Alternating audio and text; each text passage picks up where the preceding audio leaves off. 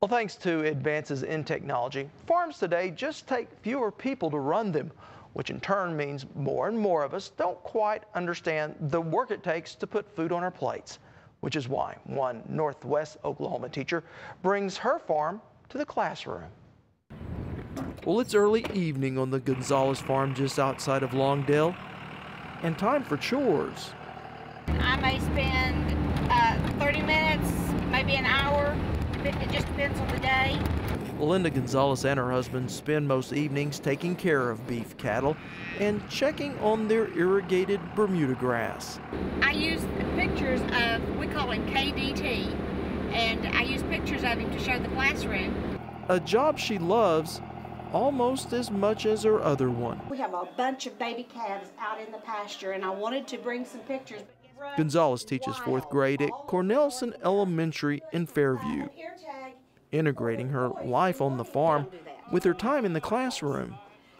I want the students to understand the work that goes into it, how much the farmers do to provide food for all of them. I want them to know where the food comes from.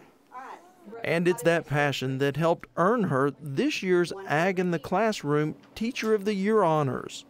Please join me as we honor, celebrate, and recognize our Oklahoma 2010 Ag in the Classroom Teacher of the Year from Fairview, Ms. Linda Gunsaulis.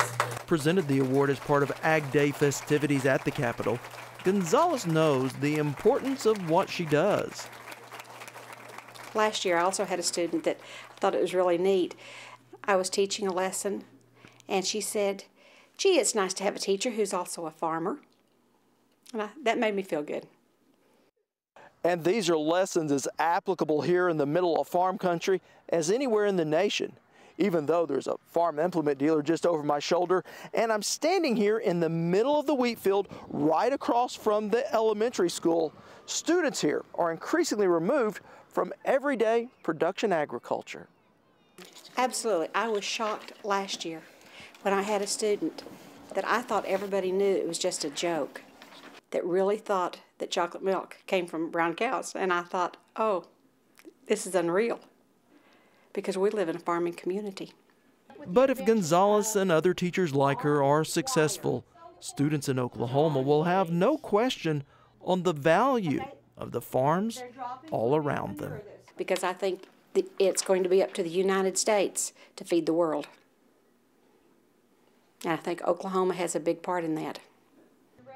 Alaz Ag in the Classroom's Teacher of the Year, Gunsaulis received a $500 honorarium from the Jackson family in memory of Paul Jackson, a great friend to agriculture and absolutely one of my favorite people to have ever spent some time with.